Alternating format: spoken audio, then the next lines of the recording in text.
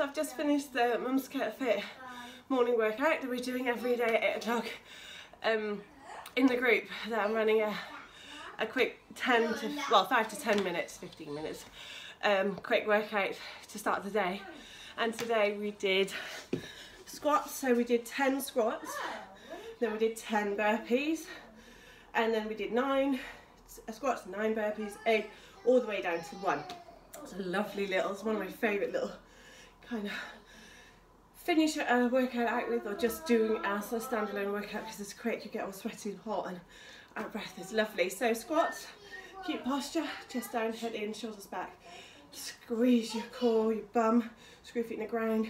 Breathe through your nose into your stomach. So just keep posture and then you move your hips before your knees. So you push your hips back, bend your knees, okay?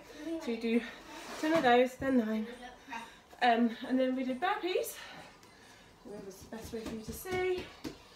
Here, let yourself down, up. Or I said you could do just out, or just down.